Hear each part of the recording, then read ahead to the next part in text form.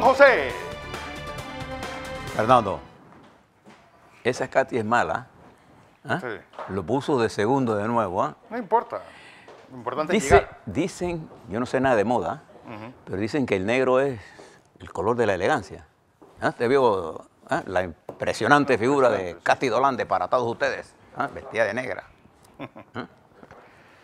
Eh, bueno, Guapa, como siempre. siempre, siempre. Que nos falta, nos falta Guadalupe. Sí, hombre. El que se Oye, fue- ayer que debo, debo pues, saludar a Doña Bella Madrid. Pues nos hizo una deliciosa lasaña veragüense. A todo el equipo, pues, ¿Y qué, qué le hacía Veragüense? pues creo que las aceitunas. Tenía culantro. no, no tenía culantro, pero tenía aceituna. Ajá. Las de Saíno, dice. Oiga, ¿tenías ahí? No. Ah, deliciosa. Doña Bella, saludos. Dice Lupe que la mamá cocina muy bien. Sí, sí, sí. ¿Mm? Bien, no me consta. Hasta que no me inviten, voy a tener que pasar por allá. Oiga, ayúdeme aquí con la cámara, maestro. Le voy a dar una cifra porque cuando uno habla de cosas, uno tiene que recurrir a los hechos. ¿Mm? A ver, ¿quién es, quién es que considera usted que es la red de periódicos que mayor circula, eh, lectura, eh, posición en la web tienen? Aquí están los números. Esto es la verdad, se las detallo, se las detallo. De acuerdo a esta información y las estadísticas que disponemos, en la lectoría de periódicos, el grupo EPASA, que contempla crítica, Panoamérica, día a día. Y sus ediciones digitales. Primero, en lectoría. Uh -huh. EPASA tiene 375 mil lectores, la prensa en segundo lugar con 300 10.000. se salvó eh, y eh, el grupo GESA de Estrella de Panamá eh, y el siglo, 156.000. En seguidores en las redes sociales, en el primer lugar está el grupo de PASA, con crítica día a día y de Panamérica, con 1.769.754. Le sigue la prensa, en segundo lugar con 1.456.279 y en tercer lugar, bien abajo, la estrella con 450.753.000.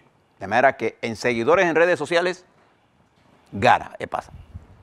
En, lect- en, en- en lec- en lectora de papel, gana pasa. Pero en usuarios en los portales de la web, EPASA tiene 1.760.390. Corporación La Prensa, 929.611.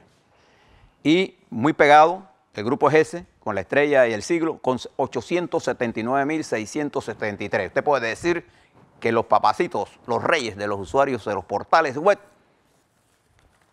¿qué pasa? Pues yo no sabía que el, el medio del Consejo de Seguridad tuviera tantos lectores. Bueno, pero le gane pasa. Sí, bueno. Ya usted sabe, cuando usted quiera anunciar, usted sabe dónde tiene que poner las cosas. Bien, vamos al plano nacional. Algunas cosas antes de ir al tema central que les quiero hablar. Eh, eh, los jubilados, un sector de los jubilados, porque no fueron todos, ya era un acuerdo con el gobierno. Eh, otro sector no está de acuerdo, pero creo que por ahí va la cosa. No, yo creo que Ese es el acuerdo. Eh, también creo que la Asamblea Nacional va a ser noticia la próxima semana. No tú vayas a tener mucho tiempo para explicárselo, pero se lo explicaré. Lo tenía, tenía unas láminas nuevas del tribunal, no las voy a usar todavía, no las voy a usar hoy, porque quiero dedicarme a, a un tema que creo que es importante. Y le voy a explicar por qué. La situación de la discusión política en Panamá está llevando al país a una crispación eh, muy fuerte muy parecido a lo que está pasando en España. Por eso le recomiendo. proporciones. Sí, parecido por, por- por la pérdida de institucionalidad. Eh, a, a eso es lo que me refiero. Pero yo creo que es, que es un modelo casi mundial, porque es lo que pasa en El Salvador, es lo que está pasando en Guatemala, es lo que está pasando en cualquier país de Sudamérica. Sí, pero ha habido correcciones. Por ejemplo, la entrada de Trump a la política de los Estados Unidos ha dinamizado el sistema. Fíjese, la- míralo. Bueno, por la defensiva. Sí, pero, pero ha dinamizado. Nuevas fuerzas están surgiendo en los Estados Unidos, que es importante. Bien, fíjese, ¿por qué le quiero hablar de esto? Hace unos días, en un lamentable, y de verdad lamentable eh, hecho, una joven supuestamente fue la culpable de haber en una, en, en una depresión, y, y las depresiones producen puntos extremos. Para los que quieren estudiar un poco esto, busquen en la red de depresión y mira hasta dónde lo puede llevar. ¿Mm? Hasta la locura. Bueno, no es casual que ese mismo día una muchacha con su hijo se hayan tirado un puente en Colombia. Sí. Eh, eh, pero en este caso en particular es que quiero señalarle. Ella puede haber sido católica, atea, puede haber sido panameñista, PRD, lo que sea. Pero utilizar eso para decir que era panameñista, eso es el, ya pasar del límite. Eso no es entender el problema humano. Ella no se mató por panameñista, ella no hizo eso por panameñista. Eh, eh, los seres humanos estamos sujetos a ese tipo de, acción. y, para eso lo que se requiere es sensatez, sentido común. Entonces las redes sociales utilizadas para estas cosas, por el problema político. Y a eso es lo que quiero referirme hoy. Usted se ha dado cuenta, Fernando, y nosotros lo hemos eh, informado aquí, lo que está ocurriendo en el panorama político. Entonces, lo que está pasando es que hemos caído entonces en la generalización, en las acusaciones eh, de traición, de, desmérito, de ataques, sin, sin razonar lo que está ocurriendo.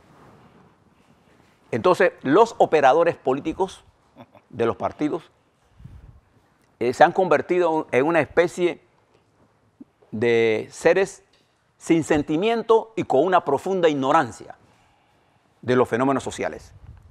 Entonces, todo el que está en contra de mi candidato es mi enemigo.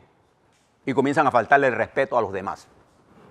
Porque los operadores políticos se creen que nadie sabe de política nada más que ellos. Y un operador político, en medio de un sistema altamente clientelista, lo único que sabe hacer es comprarlo a usted, no convencerlo. Observe para que ustedes vean. Este es mío. O sea, ya no hablan de Fernando como un panameño con preocupaciones diferentes a las mías y yo con unas diferentes a él que podemos coexistir sobre la base de poner un punto de, referencia para actuar. No, es la descalificación inmediata. Porque el operador político clientelista no tiene nada en el cerebro. Lo compra usted y después que lo compra se olvida usted, porque ya lo compró. Entonces los partidos han quedado en manos de los que yo llamo operadores políticos, pero que en el lenguaje vulgar se conoce como los llamados matraqueadores o los llamados torcedores de brazo.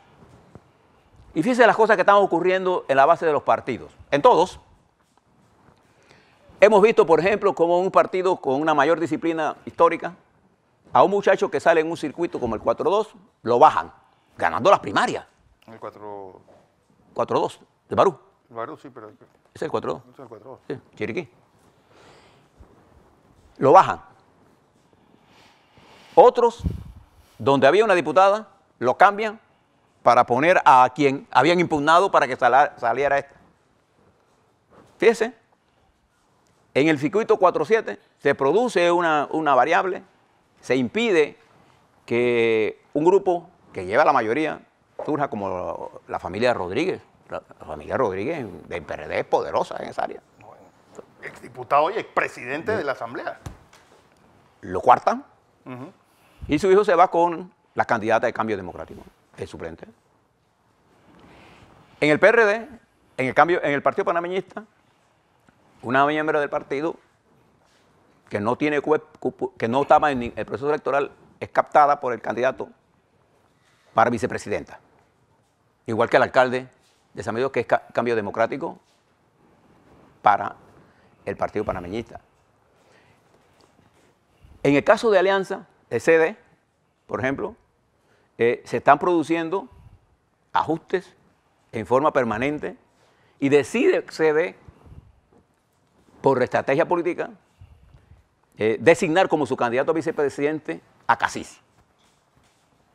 Es un muchacho con una trayectoria eh, social importante. Y le han caído encima a piñata. En una forma irracional. Porque, ¿qué impide legalmente que casi sea el candidato de nada? Nada. Los demás lo están haciendo, pero casi no lo puede hacer. Fíjese. Entonces, e, esta descalificación, y fíjese lo que hace Alianza. Alianza le da cobertura, le da espacio a la señora, a la señora diputada del PRD, y entonces ayer sale un grupo de Alianza en Chitré. Alianza es un partido que no tiene ese peso nacional, eh, diciendo que apoya a un candidato del PRD, el candidato presidencial del PRD, como para hacerle contrapeso. Entonces, ¿por qué está ocurriendo ese fenómeno? Está ocurriendo ese fenómeno porque los partidos han dejado de ser la cuna, la cuna donde se arrope, se permita el debate y la discrepancia. Uno se mete a un partido para empujar una propuesta y los partidos han perdido su identidad. Estos son partidos sin identidad, todos los partidos que nosotros tenemos aquí son sin identidad. Son partidos que solo tienen un solo objetivo. Llegar al poder. Hacerse del poder. Entonces, y que sus cúpulas queden acomodadas. No, el resto de los no le permiten a su propia membresía participar de las decisiones importantes. Y eso hace de esta campaña que los partidos tengan menor importancia y le dan importancia a la persona. A la persona. Entonces, esta fragmentación, esta fracturación de la sociedad en general, está llegando al seno de los partidos políticos. Está en el seno de los partidos políticos, en todos. ¿Y cómo responden los dirigentes a esto? Con ataques. Y fíjese lo que le voy a decir. En la sociedad en general y en la política en particular, las exageraciones caen en el ridículo y algunas veces en el circo. Lo decía Felipe González ayer. Yo suscribo esa frase de Felipe González. ¿Y qué es lo que está pasando nosotros? Estos ataques a Casís, por ejemplo, o a la joven, esta ingeniera... Eh, Nilda Quijano. Nilda Quijano, por ejemplo. Caen en el ridículo. Hasta parece en una payasada, solo que el circo nos divierte. Pero esto lo que lleva es a la crispación, entonces las acusaderas, Fernando, traidor, este no es traidor, este sí no sirve, este es una, es una palabra sucia, pero no la voy a usar. Entonces la descalificación rompe la institucionalidad. Y en el sentido completo hay pánico. Porque la movilidad que usted está viendo interpartidaria va a llegar al voto. Está llegando al voto. El lunes le voy a hablar sobre las láminas. El Tribunal Electoral está haciendo una gran contribución para que ustedes debatan. El problema es que en los partidos no hay debate. Hay operadores políticos desde ya presionando. Cuando yo gane, tú vas a ser mi enemigo. ¿Enemigo de qué? En una democracia, lo que menos usted puede amenazar a la gente de talento. El país no se acaba con ustedes ni termina con ustedes. El país comienza cuando ustedes se van. Seguimos. O sea, no dejen de, dejen de estar amenazando a sus propios compañeros. De, he leído documentos en donde se acusan a los compañeros que ellos mismos le negaron el espacio. ¿Mm? ¿Por qué? Porque reservaron porque la ley se los permitía. Nada de lo que está pasando es ilegal. Yo quiero que ustedes vuelvan a leerse el código electoral. No le echen la culpa al tribunal electoral. Esta transadera en el medio fue diseñada por los diputados en el código electoral. Nada de eso es ilegal. Solo que como no les salió de la jugada como querían, entonces los operadores políticos han venido torciendo brazos. Eso no pasaba antes, porque antes esto no era permitido precisamente para evitar esto. Entonces los partidos se han convertido en instrumentos de una élite que pacta desde arriba sin consultar desde abajo. Y como consecuencia están distanciados. Mientras la sociedad tiene más acceso a información, tiene más capacidad de entender, tiene más capacidad de nutrirse y además estamos en medio de una situación regional altamente tensa que va a explotar probablemente antes del proceso electoral. ¿Usted quiere saber algo? En la experiencia del Salvador, este joven que acaba de ganar la presidencia fue expulsado del partido FMLN bajo los cargos de traición, No. porque él tenía una mente diferente. Él pensaba de otra forma, pues.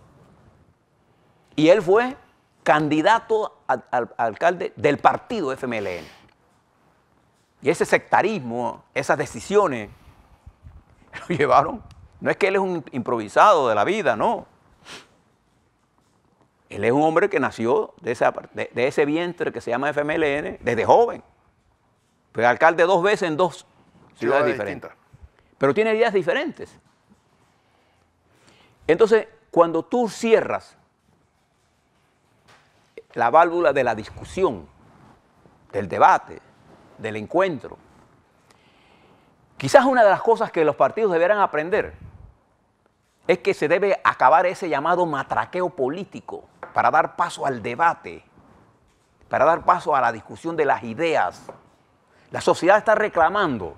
Si tú quieres hacer una reforma constitucional, consúltame. No decidas que tú vas a hacer una reforma de que dos asambleas. La gente no cree en eso. El agota- no confundan el agotamiento de la gente con, el- con la, la paciencia ilimitada. La gente no tiene paciencia ilimitada. Nadie, hasta el más tonto o más pendejo, se le acaba la paciencia. Y esos caracteres aguantadores, cuando explotan, explotan con, con fuerza incontenible. Y el disparo sale, uno no sabe por No, qué. se los lleva a todos. El país no se va a cambiar, que va a cambiar son ustedes. Entonces yo lo que quiero decirle con todo esto es que detenidos solo en el fenómeno, al carecer de una eh, teoría para explicarse los fenómenos sociales, caemos en la generalización, en la vulgaridad, eh, y creemos, incluso las redes sociales están lle- llenando de hombres y mujeres que algunos tienen identificación, la mayoría no tienen identificación, tendrá caso de nada de esas cosas, en palabras obscenas, sin darse cuenta que el 30% de las redes sociales de este país tienen acceso a nuestros niños y niñas. Entonces, todas estas acusaciones y contraacusaciones de ataque, eh, porque eh, probablemente le calme el nervio a sus candidatos, pero no tiene ningún efecto, nada más que dañino. Fíjense, hay victorias que se pueden convertir en derrotas. El presidente que se encargue el primero de julio, tal como lo expresó el pres- expresidente Pérez Valladares, necesita de un amplio consenso, necesita de elaborar una estructura de proyectos que le sirvan de amalgama al país para tener una visión y un optimismo de construir algunas cosas importantes que le devuelva al país la confianza en la institucionalidad, que le devuelva al país la tranquilidad de que con el esfuerzo que hace se puede construir el futuro y la felicidad de su familia, si al final lo que la gente le quiere ser es feliz. Entonces, mientras usted lleve este proceso, a- como lo está llevando, en que todo se convierte en una burla, ataque, eh, eh, de generalizaciones, eh, todos las, eh, todas los- las exagera- exageraciones son ridículas.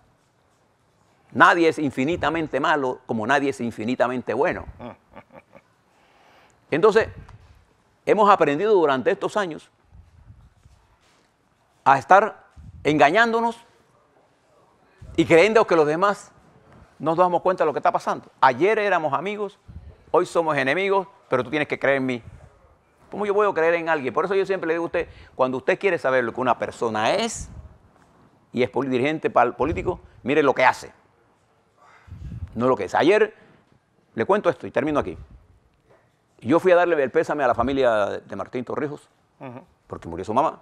Me encontré con hombres y mujeres eh, de nuestra generación, La vieja guardia del PRD. eh, hombres y mujeres que formamos un proyecto nacional, que teníamos una oposición, pero que nunca se nos ocurrió estar denigrando a nadie, sino discutiendo, hablando. Yo no recuerdo nunca, por ejemplo, a un Gerardo González que en paz descanse, oponiéndose a que un compañero de él que haya sal- hubiese salido en una primaria lo hubieran bajado. Jamás eso hubiera pasado. Yo no recuerdo, por ejemplo, que un presidente dejara de hablar con su partido, como está pasando con el panameñismo.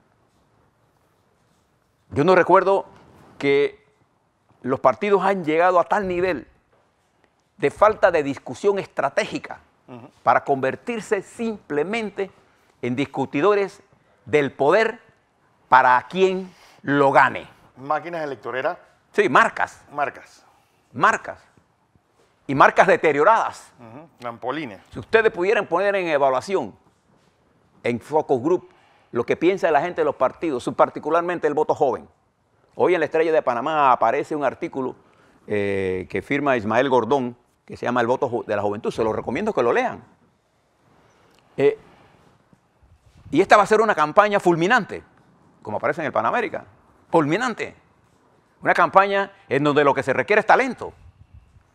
Pero mal usted puede entender esta lucha si usted no es capaz de entender la estrategia de su adversario y entonces usted comienza a denigrarla porque usted hace la contrainformación que es falsa y la compra de vuelta. Una de las características de las estructuras del Consejo de Seguridad de Panamá es lanzar contrainformación y la compra de vuelta, una mentira dicha por ellos y la compra de vuelta como verdad y se montan en eso como una verdad. Ese es el error estratégico más grande que cometen los que están en la guerra Porque política. así hicieron y armaron procesos. Sí, sí. No, Estos infelices con el que está donde Dios lo debe tener, el saltarín ese, inventaron procesos, lo compró la prensa y eso lo compraron. pero de igual, vuelta. eh, y no solamente pasa ahí.